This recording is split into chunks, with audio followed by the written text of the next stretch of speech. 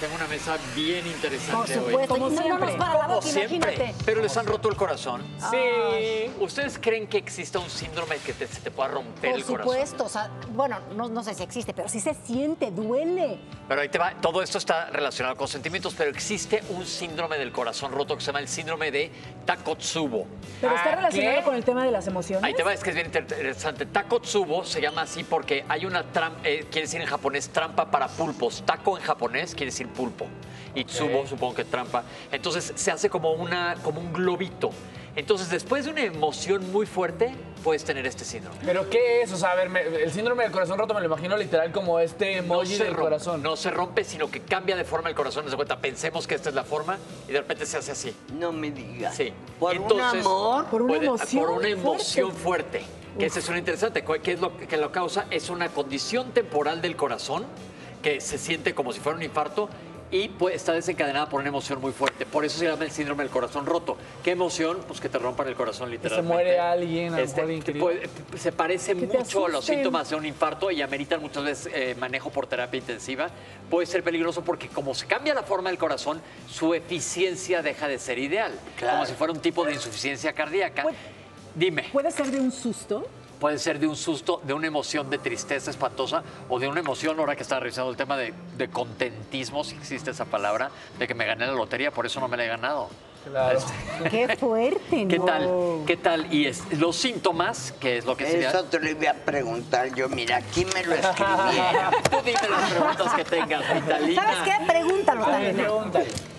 ¿Cuáles son los síntomas? Muy buena pregunta, porque te voy a decir, se confunde con un infarto agudo del miocardio. ¿Por Entonces es un dolor muy fuerte en el pecho, una sensación de muerte, sientes que te falta aire y sientes que algo te no está pasando. tienes diaforesis profusa. Cuéntales qué es diaforesis profusa. Diaforesis es sudor, mucho sudor, frío generalmente en un infarto.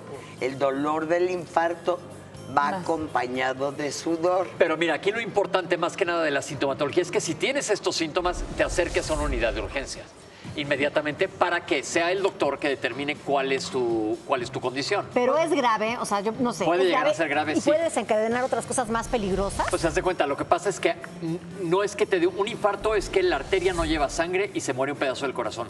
Aquí, a la hora de ser ineficiente el bombeo de sangre, no va a llegar sangre a donde pueda llegar, entonces puedes tener una complicación. que es lo mismo que pasaría Pepe. con el síndrome. Con el síndrome. Es lo que pasa con el síndrome de Pero a ver, dijiste que se hace así. No, haz de hace cuenta, que- se hace Como... o sea, que... Nunca he visto una, una trampa para un pulpo, si la buscan en Google, se parece como un chupón. Hagan de cuenta, Pero- tiene una como entradita y luego se hace un globo atrás. Pero y esta es la forma es, que toma. ¿se queda así para siempre? No, es una condición temporal Ah. y se da tratamiento y generalmente revierte y les va bastante bien a los pacientes. Pero nada más que lo inter- interesante del día de hoy es que platiquemos. Hace rato decíamos, las emociones son tan Ay, importantes sí. como cualquier otro sistema. Total. Y antes también decíamos que, híjole, mándalo a, a terapia, esto tienes que ir a terapia intensiva, pero me refiero a que aprendamos a manejar nuestras emociones, que es un punto bien importante. Decíamos hace rato, decíamos, platicábamos, ¿verdad?, de la importancia de una terapia. Sí, sí. Y alguna vez escuché a un maestro que decía que en realidad el equilibrio, el balance, también está en las emociones. Estas personas completamente eufóricas y entonces se van, ya sabes, a la alegría, al contentismo, acá, al atacarte risa y luego se van como cuando están tristes, a un día azul. Son El- bipolares. no, ni siquiera. Es como encontrar en, eh, esa Punto medio. esa ecuanimidad. Justo medio. Exactamente. Justo medio, pero esto viene por una emoción muy fuerte, un susto, una alegría tremenda. Ahora. un- por eso le dice corazón roto. Quiero hacer dos preguntas porque si hablamos de las emociones, generalmente entonces hay un índice que le suceda más a los hombres que de pronto no nos atrevemos a hablar tanto de emociones o no. No, es normalmente una emoción, no es como algo que normalmente vas a manejar a terapia, que traigo un tema de O sea, es terapia. como un shock, un es un susto. Que es shock, sí. progresivo, no es wow. Normalmente esto sí es PAU, es de repente por eso se confunde con un, con un infarto. ¿Cómo se trata? Se trata dentro de la terapia intensiva con medicamentos que actúan sobre el funcionamiento cardíaco para regular todos los efectos de la hemodinamia. ¿Qué es hemodinamia?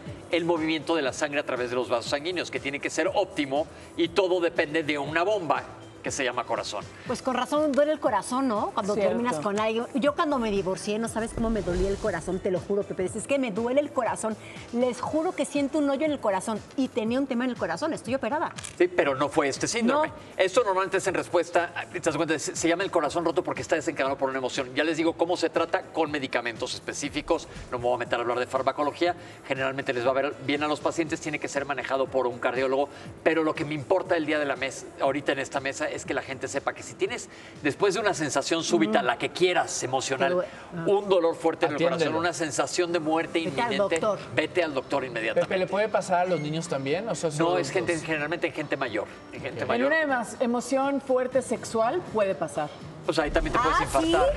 También te puedes El amigo infartar. ¿Con una esta amiga, polla? sí, murió No, pues es cuánta Ay, gente no no, sabes que, que le da un infartazo. ¿Por qué? Porque ahí el cuando estás teniendo una actividad sexual copiosa, digamos con, con injundita, pues estás bajando adrenalina y demás, y entonces ahí puedes pedir pedir este que más sangre a tu Que corazón y que no llega.